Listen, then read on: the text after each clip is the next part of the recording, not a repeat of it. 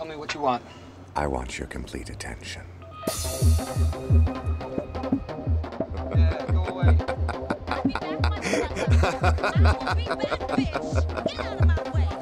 I was worried there for you, Stu. I thought she was going to put an eye out with that, that hand. Look, whoever you are, you're obviously a very intelligent man, and I know what stress does to you. It's all I can do from going crazy myself You're, sometimes. you're calling me crazy.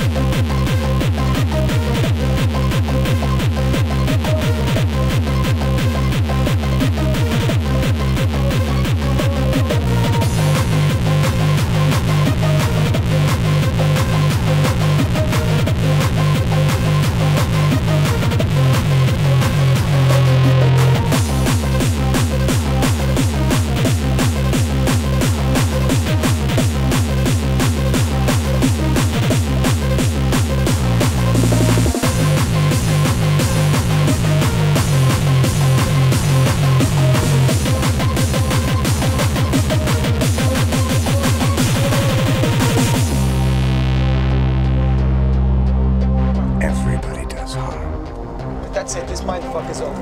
Stu. Now, doesn't that just torque your jaws?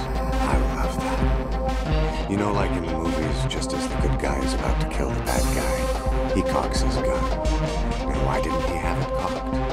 Because that sound is scary. It's cool, isn't it? You shoot a gun here and there'll be pandemonium. All right, do you hear me? There'll be cops swarming all over this block. You think so? Let's see. One, two. That won't help you. Three. Oh, Stu. Stu. You still with me? Still with me? Stand up and be a man.